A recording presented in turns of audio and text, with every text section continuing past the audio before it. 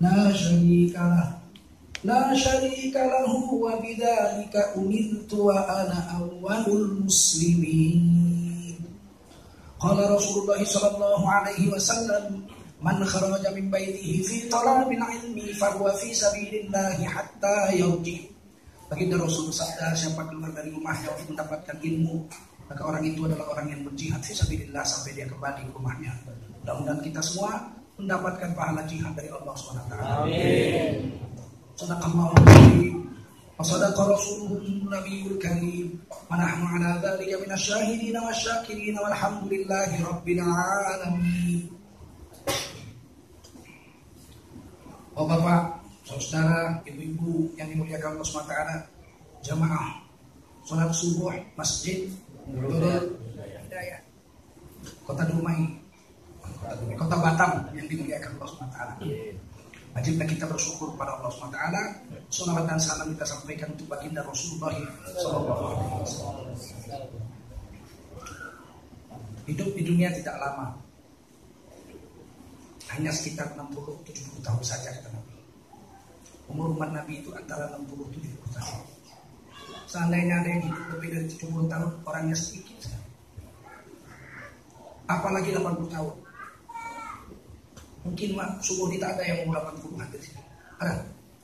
Umur 80? Tak ada. 70 ada? Tak ada. Hmm, ini banyak orang sholat subuh 70 tahun umurnya 80 tak ada satu. 60 ke bawah. Segitulah umur kita. Dan tugas kita dua. Berapa? Dua. Yang pertama, dakwah. Wadakir fa'inna zikratan fa'ul mu'minin.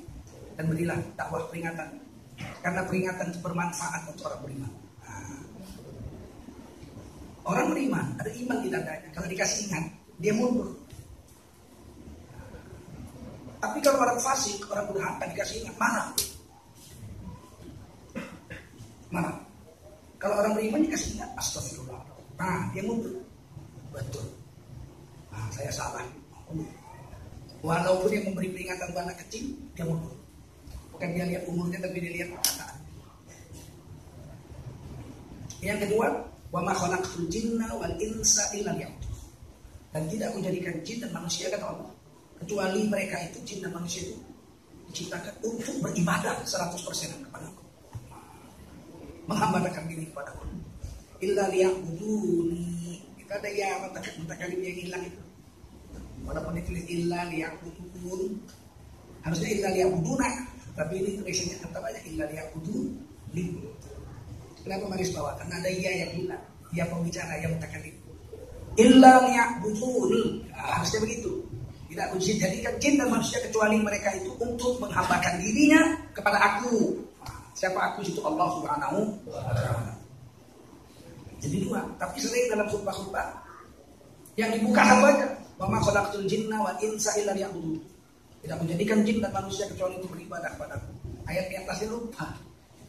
Padahal ayat di atasnya itu yang nomor satu harus Wadakir fa inna dzikra tanfa'ul mu'minin. Dan berilah peringatan karena sesungguhnya peringatan itu membawa manfaat kepada orang yang beriman. Dakwah dulu. Baru ibadah. Ternyata dalam Islam tidak ada ibadah kalau tidak didului oleh dakwah. Sholat ibadah yang paling penting tiap agama. Azan dulu, hayya ala sholat. Mari sini sholat di sini. Tempat aku azan ini, hayya. Ini bahasa Arab. Kalau bahasa Cina lain, hayya. Lain. Hayya, hayya itu di sini, di sini. Jangan di sana, jangan di sana, jangan di sana. Jangan di pos hansip, jangan di rumahmu, jangan di warungmu, jangan di ladangmu. Di mana? Sini, tempat saya azan ini. Hayya, panggil dulu. Hayya alal falah. Mari sini. Untuk mendapatkan kesuksesan hidup dunia akhirat di sini kemari sini. Kalau kau tak datang, kau tertinggal dalam menegakkan nah, kesuksesan hidup. Allahu Akbar, Allahu Akbar, Allah yang besar, yang kecil, tinggalkan semua. La ilaha illallah. Tidak ada yang sembah kecuali Allah. Dakwah itu Allahumma rabba hadhihi da'wati Ya Allah yang telah menjadikan azan sebagai seruan dakwah yang sempurna. Baru sholat. Baru ngaku Islam. Nah, jadi ngaku Islam itu nomor tiga. Dakwah. Ibadah. Baru ngaku Jangan ngaku Islam kalau nggak dakwah ibadah, jangan ngaku Islam dong. Ngaku Islamnya dalam sholat. Inna sholati wa nusuki wa mahyaya wa mamati billahi rabbil alamin la syarika lahu wa bidzalika umirtu wa ana minal muslimin. Ngaku Islam aku orang Islam. Salah satu dari orang yang Islam. Nah, aku menyerah diri dengan Allah, nggak lawan aku. Panggil tangan. Suruh sembah, aku sembah. Wa ana minal muslimin. Ngaku Islam, tapi dakwah dulu. Baru ibadah, baru ngaku Ngaku? Karena orang ngaku Islam. Ngaku Islam. Dari ibadahnya tadi mana? Tegakkan agama. Allah Akbar, tegakkan agama. Allah Akbar, tegakkan agama. Jerit-jerit. Tapi tak sholat zuhur berjemaah. Kapan pun sholat zuhur gitu. Kami orang Islam. Kami orang Islam. Allah Akbar. Tapi tak sholat zuhur berjemaah. Jerit-jerit, haus, minum yang diminum Coca-Cola. Kata orang Yahudi di atas sana, cerita kau. Semakin menjerit kau banyak, makin laku buka cola. Ternyata hari ini kita mengaku Islam, tapi tidak ibadah. Harus dibalik. Dakwah dulu, ibadah baru Islam. Itu tertib yang Allah tulis Quran. Sekarang kita dakwah di orang. Coba kita sholat 15 menit lagi sholat duhur. Akhir kau kau urus dulu diri kau sendiri. Udah beres dirimu dan anak istrimu, baru kau ajak aku. Tertib apa? Dari mana itu aturan yang ada Allah bikin? Kalau Nabi mengikuti omongan ini, cakap ini, urus dulu diri kau, anak istrimu, keluarga kau, paman-pamanmu beres, baru kau ajak aku. Terus kita buatkan. Misalnya, apa orang Islam orang Abu Lahab sampai mati kayak Islam Islam. Abu Jahal sampai mati kayak Islam Islam. Abu Thalib sampai mati kayak Islam Islam. Menunggu keluarga Islam, bah kematian dan lain-lain. Nabi Musa dipelihara Fir'aun. Beliau Islam kan ada orang yang dakwah. Fir'aun tidak sampai mati Fir'aun tidak mengenal Islam. Kalau nunggu keluarga beres dulu, nunggu Fir'aun masih Islam dulu. Mana ada Bani Israel yang Islam dulu? Paham? Salah ini ucapan. Oh beres dulu. Mana ada Salah ada. Ada orang. Artinya ditulis Waman ahsan qawlan mimman da'a ilallah ada kata-kata yang lebih baik dari perkataan yang dakwah orang untuk taat pada Allah ini kalimat tanya tapi ini artinya bukan bertanya artinya menafikan tidak ada perkataan yang lebih baik dari perkataan orang yang mengajak orang lain untuk taat pada Allah tidak ada perkataan lebih tinggi dari perkataan dakwah perkataan ibadah kalah dengan perkataan dakwah karena perkataan ibadah kalau kita mati habis pikir baca Quran kalau kita mati habis berhenti dipegang naik bukan kalau dakwah tak habis kita mati jalan terus kita ajak 10 orang preman yang nggak pernah sholat kita ajak sholat kita ajak sholat kita ajak sholat 10 orang itu obat sholat setiap hari lima kali sholat 10 orang 50 sholat kita sendiri yang mengajak sholat juga lima sholat kita ditambah 50 sholat preman yang tobat itu semuanya pahalanya untuk kita satu hari kita dapat 55 pahala sholat karena semua pahala orang yang kita dapat untuk kita hadisnya sama muslim manta ila huda kana lahu min al-ajri mithlu ujuri man tabi'ahu la yanqusu dzalika min ujurihim syai'a siapa yang mengajak orang lain untuk taat kepada Allah maka seluruh pahala orang yang diajak itu masuk ke dalam catatan amal orang yang mengajarnya tanpa sedikit pun mengurangi pahala orang yang diajak dari kalian itu di syai'ah semua dapat pahala masing-masing tapi yang mengajak dapat semua golongan saya kasih dulu siapa mengucapkan satu subhanallah akan tumbuh satu pohon di surga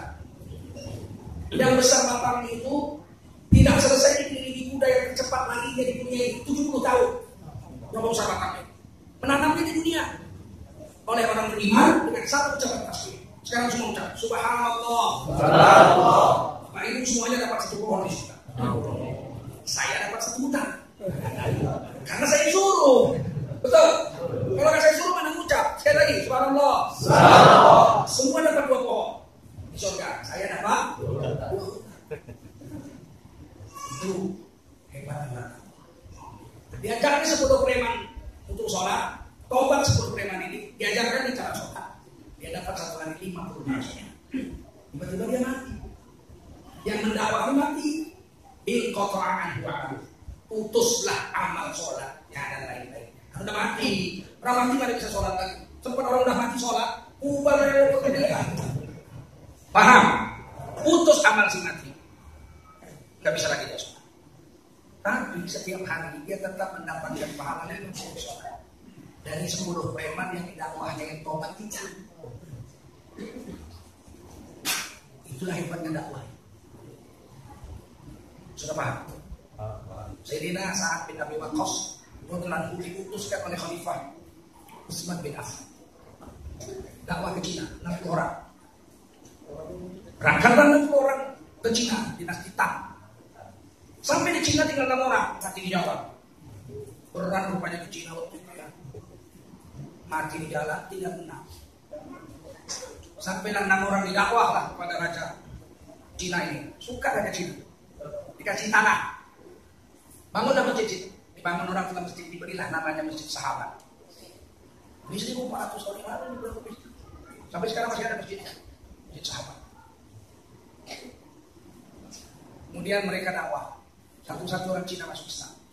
Menurut riwayat saat bin Abu Bakar radhiyallahu sempat kawin dengan gadis Cina dan punya anak Abdullah bin Sa'ad bin Abi Waqqas. Digelar Ibnu Abi Waqqas. Yang lima dan sahabat ini anak sahabat ini Ibnu Abu Waqqas berkubur di bangsu kanton. Sampai sekarang masih ada kuburan. Dan enam kuburan, satu kuburan Ibnu Abi Waqqas, lima lagi sahabat Rasulullah SAW. Sayyidina Sa'ad pulang ke Medina. Pulang ke Medina dan berkubur di Medina. Tapi anaknya dengan lima sahabat lagi berkubur di Cina.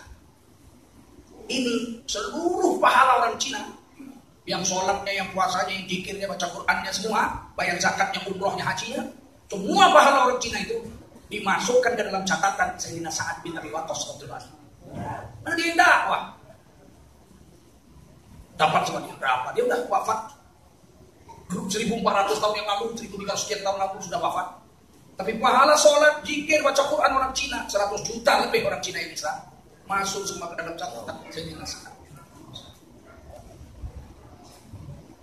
Nanti terheran-heran Sayyidina saat di hari. Ya Allah aku umurku cuma sekian tahun. Bagaimana bisa pahala sholat, pahala zikir, pahala umroh, pahala haji, juta-juta. Setiap hari masuk sampai ratusan tahun ini, ribuan tahun gimana? Dari mana ini? Kata Allah, Kullu nafsin ikotul maut. Sesungguhnya yang bernyawa mesti mati. Tiap-tiap yang bernyawa mesti mati. Wa inna ma tuwaffawna ujurakum yaumal qiyamah. Hanya saja dengan matimu itu kami ingin melipat gandakan ganjaran pahala pada hari kiamat. Maka Allah katakan kamu dulu dakwah Cina. Betul, tapi yang Islam sedikit. Cuma ratusan orang. Ya tapi mereka beranak-anak. Dakwah sana sini juga akhirnya sekian ratus juta semuanya itu pahalanya masuk ke dalam pahala catatan amal. Berapa bahagia itu Sayyidina Tapi semua pahala Sayyidina sangat berlaku dimasukkan Allah bersama pahala semua orang Cina ke dalam catatan amal Sayyidina Utsman bin Affan Kenapa? Karena dia yang perintah dan dia khalifah waktu itu. Kamu berangkat 60 orang dakwah Cina. Sama dia semua pahala orang itu termasuk pahala catatan amal Sayyidina Sa'ad untuk Sayyidina Utsman. Hebat kan? Orang nyuruh tapi seluruh pahala Sayyidina Utsman seumur hidup ditambah pahala saat bin Abi Waqqas yang ada dalam catatan Sayyidina Utsman ditambah pahala seorang Cina yang masuk ke dalam catatan Sayyidina Ibnu apa Abdul Sa'ad bin Abu Waqqas dan Sayyidina Utsman semuanya dimasukkan Allah ke dalam catatan Sayyidina Abu Bakar Siddiq Kenapa? Karena yang mengislamkan Sayyidina Utsman adalah Sayyidina Abu Bakar Siddiq Sudah hebatnya dakwah. Tapi hari ini orang nggak mau.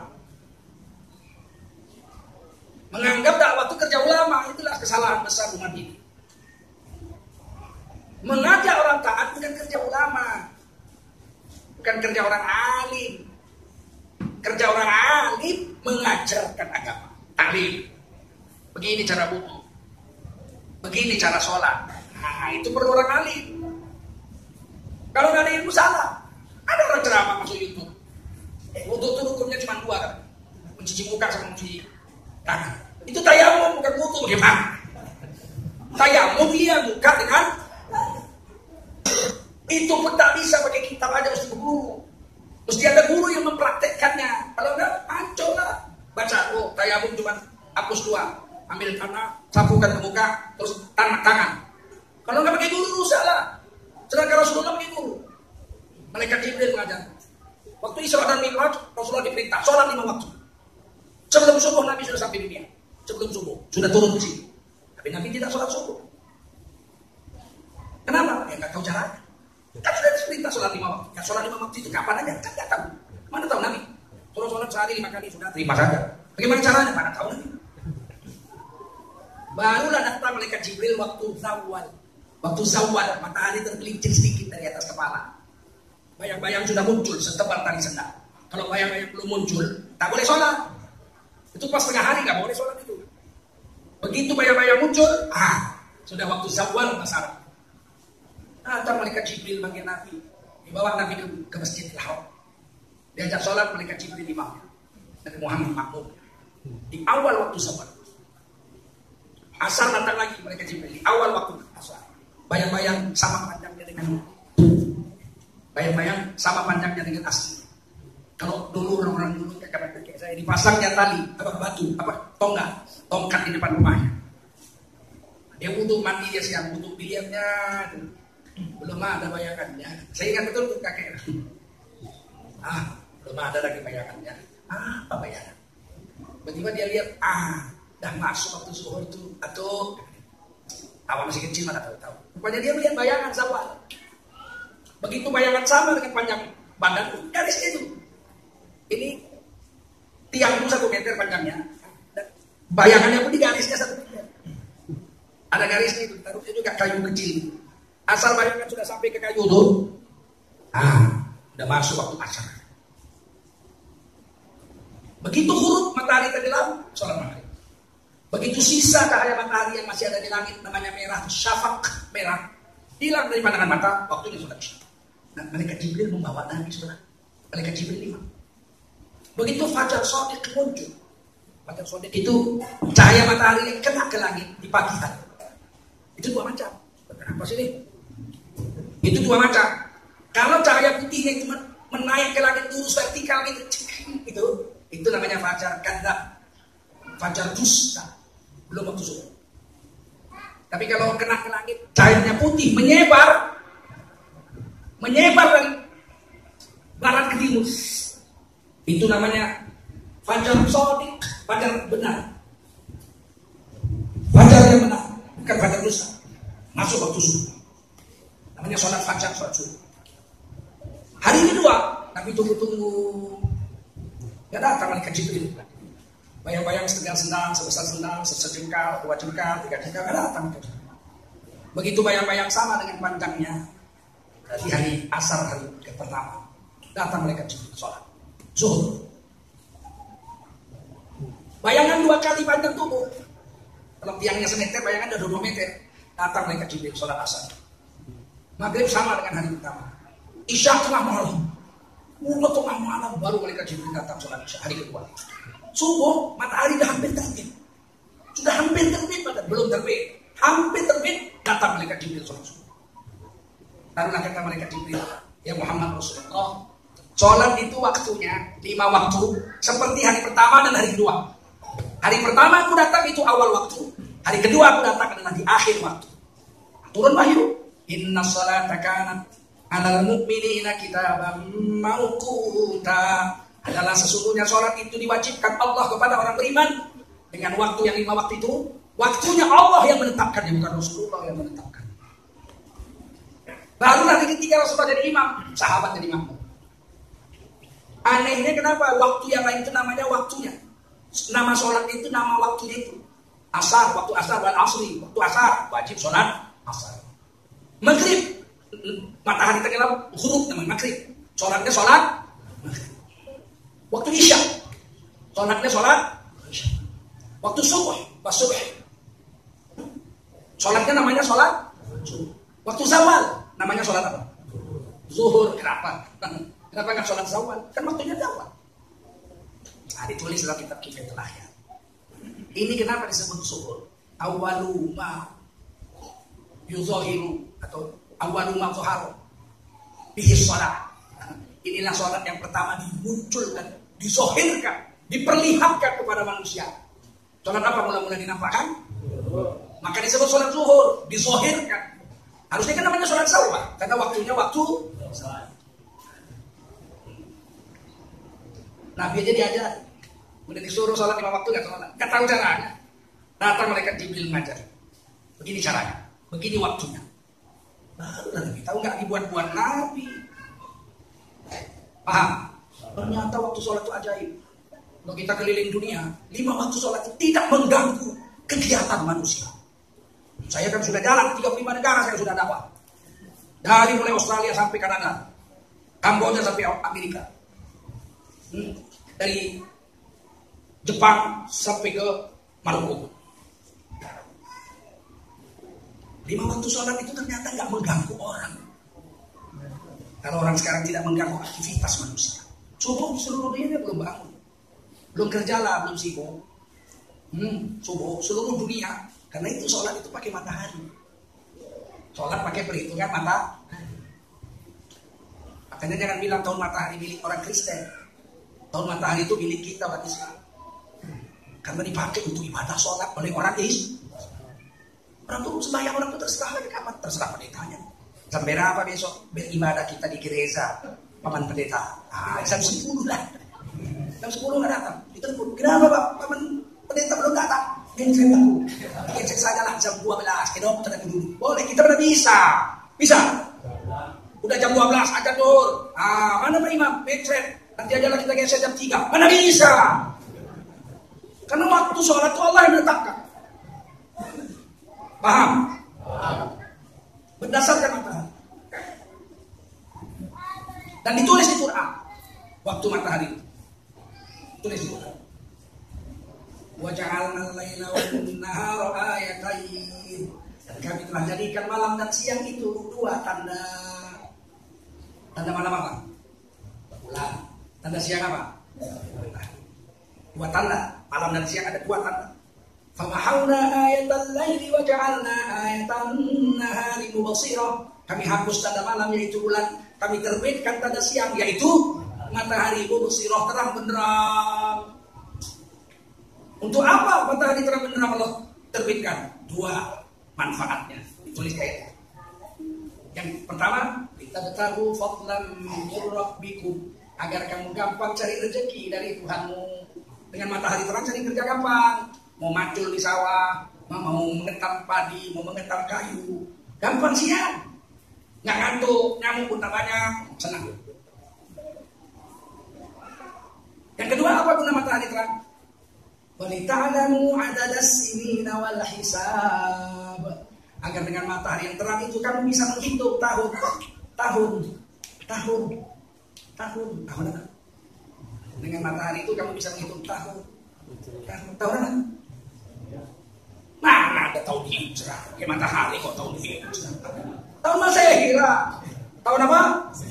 Bahasa Arabnya tahun Syamsiah, tahun matahari, Syamsiah. Bahasa Inggrisnya solar kalender, kalender matahari. Bahasa Indonesianya tahun Masehi. Ditulis di Quran. Tidak ditulis di Injil dan tidak ditulis dalam kitab Taurat. Jadi matahari tahu matahari siapa punya? Siapa punya? Ini sudah dipakai untuk menegakkan amal yang paling penting yaitu so. Kalau tahun bulan ditulis dalam surah Yunus, ini surah Bani Israel, surah Al-Israel 12. Kalau tahun bulan ditulis di surah Yunus, Walladzi ja'ala syamsa. Dialah Allah yang telah menjadikan matahari mengeluarkan api. Wal qamara sedangkan bulan hanya memantulkan cahaya matahari. Bulan enggak mengeluarkan api, nur. Wal qamara bulan hanya punya cahaya nur, sedangkan matahari dia mengeluarkan api seperti pelita. Faqaddarahul manazil dan jadi kami jadikan bulan itu punya garis edar, garis edar, garis edar, garis edar. Jamak manzil, manazil, jamak. Kami jadikan bulan banyak garis edarnya. Berapa garis edar bulan? Yang kita tahu empat. Putar diri sendiri satu. Ikut bumi, memutar di bumi satu kali putar namanya satu bu.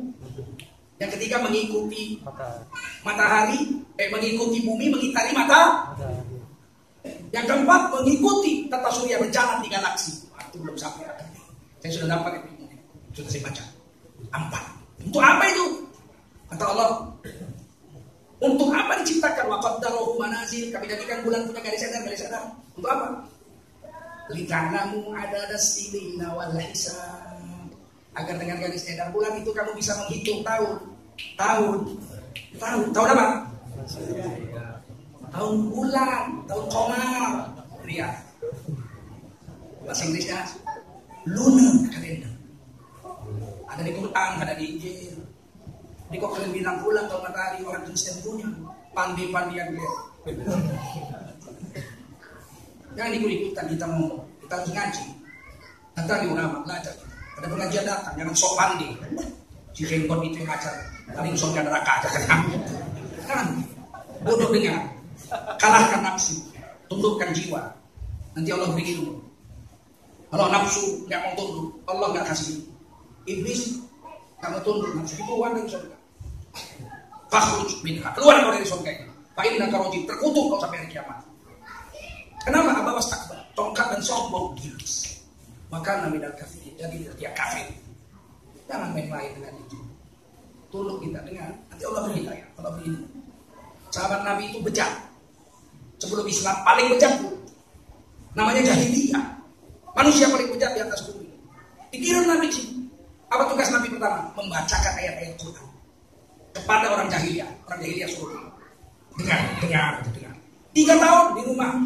Sayyidina Al Arqam bin Abil Arqam dengan mendengar taklim Allah cuci hati. Bersih hati. Rontok maksiatnya.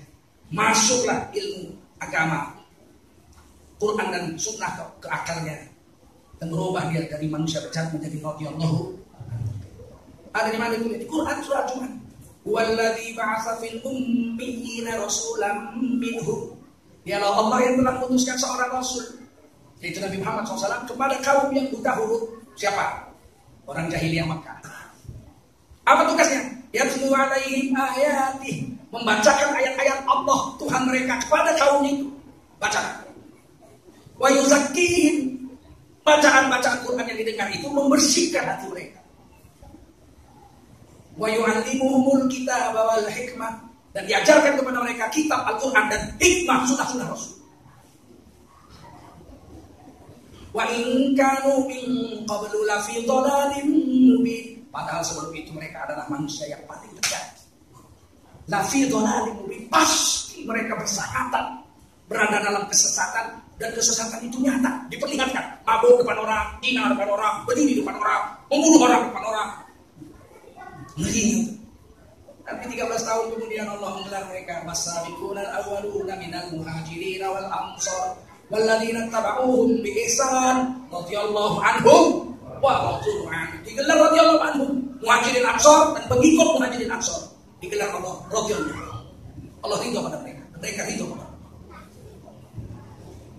itulah gunanya. Maka kalau saya heran kita lihat jemaah tablik didatanginya preman.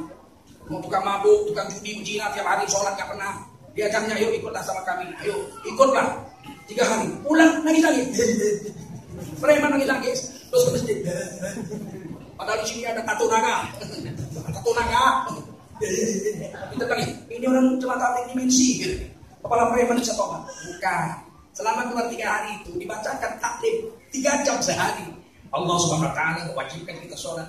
Sampai yang tidak sholat, nama kata tertulislah namanya di pintu neraka jahanam dan dia wajib diam di dalam neraka itu satu hukum 80 tahun. Kenapa baju zakihi bersih hati itu 9 jam selama tiga hari dia dibacakan. Dan itu ditulis di surah itu. Tapi orang sekarang nggak tahu ngaji, yang sesat. Bondol itu sesat. Majelis Ulama Indonesia tidak mengatakan jemaah tablik sesat kok kita pandai-pandai bilang sesat. Paham? Dakwah. Ternyata sholat itu subuh orang belum kerja. Zuhur orang makan siang. Seluruh dunia orang kalau zuhur makan siang. Seluruh dunia sampai ke Alaska. Asar orang sudah selesai kerja. Karena kerja di dunia ini 8 jam. Berapa jam kerja? Kalau jam 8 mulai kerja, jam 4 asar sudah selesai. Sholat asar. Maghrib sudah pulang. Isya cepat. Satu jam kurang lebih dari maghrib sudah disuruh sholat isya. Kenapa? Supaya cepat tidur. Supaya cepat. Setan main, bikinlah TV, dibikinlah game-game, mainlah WhatsApp, ini itu ini itu, sholat tidur malamnya jam satu. Lewat subuh. Nah, padahal disuruh cepat sholat isya supaya cepat bangun malam. Kumilai bangun malam. Ternyata Allah membuat terminal sholat itu tiga jam sekali. Lima wajib, satu, dua sunat makan. Artinya tujuh dibagi 24 jam itu rata-rata tiga jam kita mesti berwudu dan buang air kecil. Subuh buang air kecil, mandi, wudu, ah, pergi masjid. Tiga jam kemudian jam sembilan kamar mandi lagi buang air kecil, wudu, sholat duha, sunat. Kemudian tiga jam kemudian jam 12 wudhu lagi buang kecil, wudhu sholat zuhur. Kemudian tiga jam kemudian sholat asar, buang kecil lagi wudhu lagi sholat asar. Tiga jam kemudian maghrib, sholat maghrib. Satu jam sholat isya, tidur jam 12 bangun. Sholat tahajud. Keluarkan air kecil lagi, buang racun-racun. Wudhu lagi, cuci lagi. Kenapa harus wudhu sampai tujuh kali? Karena tubuh kita hampir 90% terdiri dari A, dia perlu air. Kenapa harus sujud? Karena sujud itu membantu datangnya darah ke otak. Otak di atas, jantung sebesar hijau. Mompa, gak kuat, naik ke darah otak itu gak kuat. Mogok dia berat. Bantu dengan sujud. Kalau sujud kepala di bawah jantung, jantung di atas, kepala di bawah. Dipompanya tuh Penuhlah darah ke otaknya, masuklah makanan-makanan yang dibawa darah ke otak. Subuh berkat aja, bertidur, belum capek. Tapi zuhur, empat rakaat sunat, empat rakaat zuhur, empat rakaat lagi sunat. Berapa itu? Dua belas. Kenapa harus banyak-banyak? Karena udah dipakai kerja. Dari jam 8 sampai jam 12. Paham? Empat jam sudah kerja kan? Udah dimakan ini. Makanan otak itu nutrisi namanya. Kurang ya, dibantu dengan subuh. Datang darah mengantar makanan.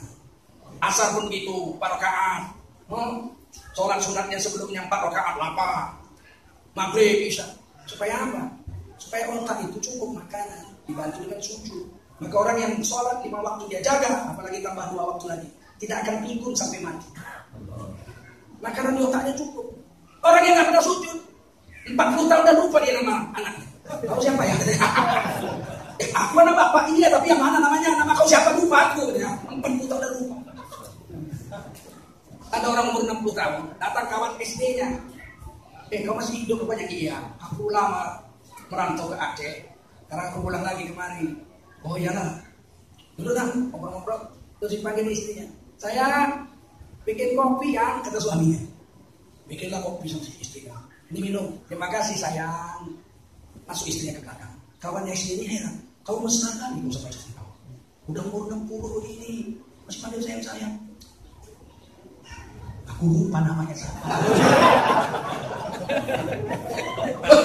Gak pada sholat, oh tanya. Aku panggil aja sayang. Sialan orang.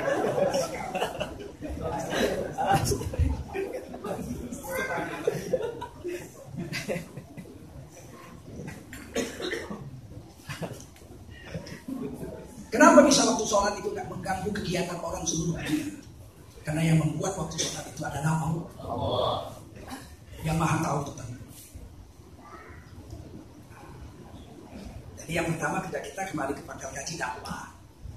Jangan disuruh bereskan dulu diri kamu. Nah, yang dakwah itu pun belum beres juga. Ya memang iya.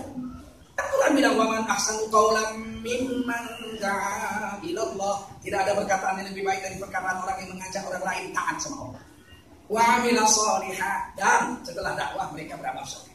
Waqala innani dan berkata, sesungguhnya aku. Orang yang dakwah ini, ini salah satu dari orang Islam. Ngaku Islam atau tidak? Azan. Begitu masuk waktu sholat, muazin datang ke masjid. Jam 12, jam 10, ah sudah masuk waktu subuh. Dia azan. Hayya sholat. Yang azan, belum sholat juga. Betul? Dia nanya orang, tapi dia sendiri belum sholat juga. Begitu orang datang, sama-sama sholat. Dalam sholat ngaku. Wa ana minal. Itu tertibnya yang bikin Allah. Kalau kita tukar, bereskan diri kau. 12 sudah 10 udah masuk waktu subuh. Muazin sholat sunat kau dia subuh. Habis itu dia sholat subuh, khusyuk khusyuk dia sholat. Habis itu dia sholat pak dia subuh, dia doa nangis nangis. Habis itu dia azan. Ya Allah, Orang datang dia pulang. Kau pulang, eh aku udah bereskan diri kah, dirimu tinggal kalian, tinggal kalian. Aku udah beres. Waktu puasa kalian, udah beres aku dipukul orang sekampung sesat kau ya jadi dakwah itu buat aja dulu orang aja aja orang walaupun sama-sama belum buat paham kalian balik-balik tertib dakwah ini Kementerian Agama Republik Indonesia dengan Majelis Ulama Indonesia setiap tahun mengintip bulan Ru'yatul Hilal. Ada timnya namanya tim Isbat Nasional. Saya masuk situ. Sudah 20 tahun anggota itu nggak digaji mana ada jadi kalau kalau kebetulan kalian sudah buat lontong menunggu-nunggu tiba-tiba batal. Karena nggak nampak bulan kita puasa lusa besoknya kita baru puasa. Jangan marah-marah kalian lontong basi gara-gara. Disuap di departemen agama. Bukan disuap nggak nampak bulan. Kata Rasul suruh liru yati kau puasalah kalau kau udah lihat bulan. Wa aftiru liru yati hari raya lah kau lebaran kalau sudah lihat bulan.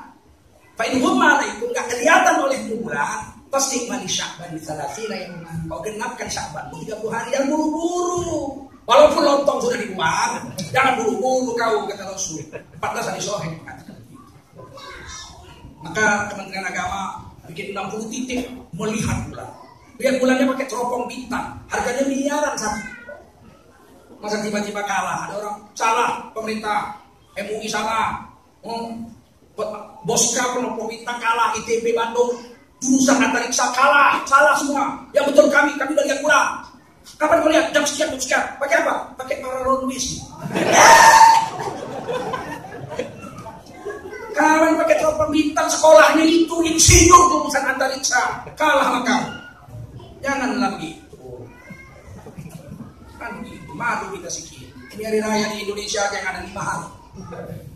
An-Nasir Sulawesi duluan baru Padang Bandi baru Muhammadiyah.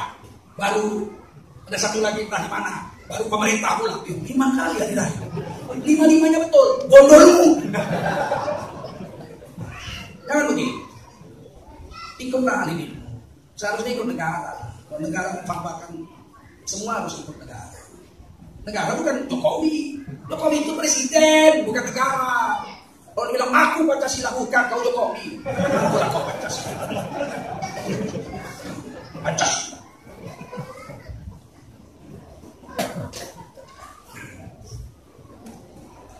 Begitu dilihat bulan, apa matahari tenggelam bulan nggak nampak di Papua.